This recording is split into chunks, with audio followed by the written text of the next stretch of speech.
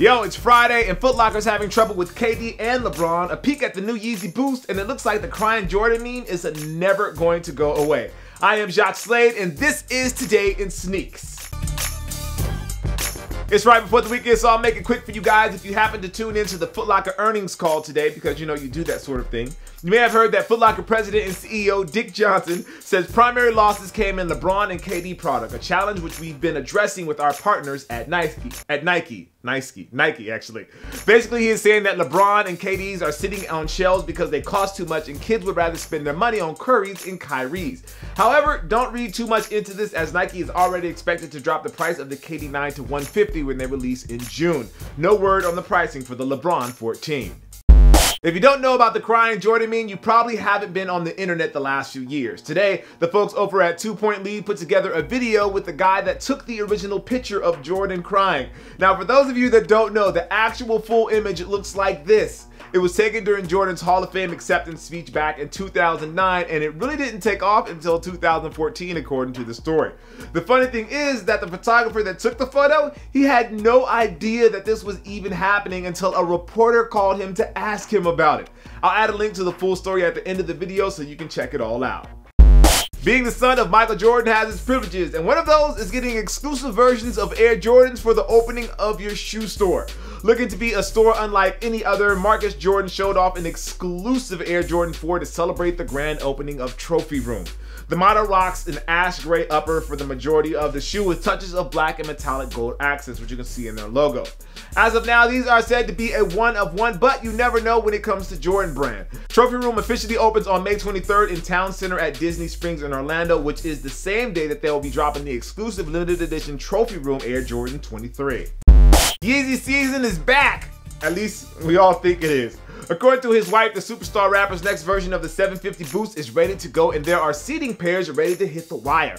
Over on Kim's Snapchat, she showed sacks of the shoe which feature a gray upper and a gum outsole that glows in the dark.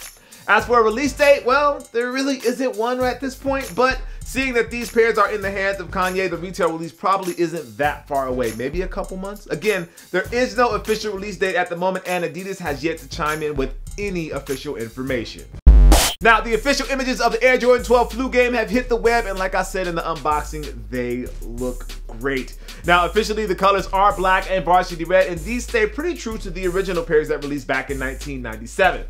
As the story goes, Jordan was sick with the flu the morning before the game, but some evidence has surfaced that disputes that claim. You have to check out the unboxing I did to get the other side of that story, and you can find out how you can actually win a pair. Check out the card that should pop up over here or over here, like right now. Either way, look for these to arrive at retailers this weekend in their remastered form, or I should say next weekend in their remastered form for $190.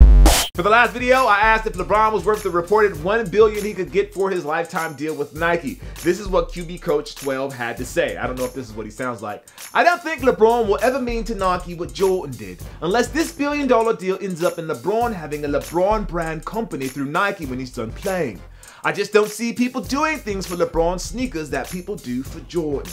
I have no idea if that's how he really sounds, but in my head, that's what he sounded like. As for the question of the video, I want to know what you think about the new colorway of the Yeezy 750 Boost. I think I like that glow-in-the-dark outsole, I'm just not sure yet. Let me know what you think down below. As for what I rock today, it is it is this shoe, the Air Jordan 12 Flu Games. Uh, again, these release next weekend, and these are really good. Really like the leather on these. Uh, if you want to find out how to win a pair, again, uh, I'll put a link down in the description so you can follow that and you can enter the contest. Um, as always, uh, I am Jacques Slade. This is Today in Sneaks. If you haven't already, make sure you like, favorite, and subscribe. That way you know whenever something awesome is happening right here on this channel. As always, guys, I appreciate you, and I'll see you soon. Peace. Wow, sorry guys. So uh, let's see. I don't know what this is. Oh wow. Vault in LA, I got really lucky and won the raffle. So let's stop all of the chit chat and get right to it. So I have two pairs